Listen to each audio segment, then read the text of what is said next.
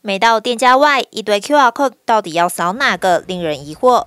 特别是提升科技防疫，将台北通整合行政院简讯十连制，民众若和家人一同前往，只需要一位代表人使用台北通 App 扫码即可，登记同行人数就能完成十连登记。防疫十连台北通，只要三秒两步骤，扫描店家 QR code，同行家人一起过。简单来讲，如果今天你带有小朋友，小朋友是没有手机的，他没有办法去做十连制，我们只要按一个同行家人加上去，他就能够一起来完成十连。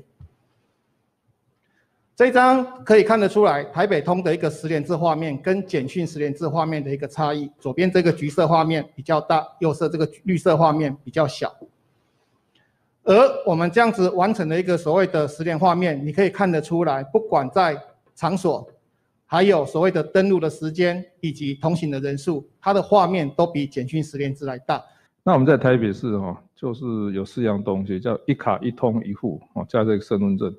一卡就是悠游卡哦，一通就是台北通，一户就是悠游户。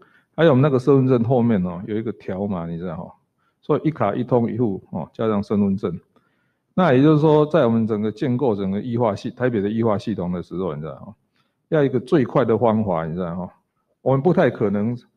其实现在很多那种店面哦，说用一个布子让人家记名字，我想那个第一个不切不不不切实际的，哎，也很难找哈，啊，速度也慢，资料也不完整。所以透过一卡一通一户哈，还有身份证，你知道哈？你出门至少要带一样嘛。啊，当然 如果都有带是最好。我们在不同的环境之下，我们会选用效率最高的方式来确定你是谁啊。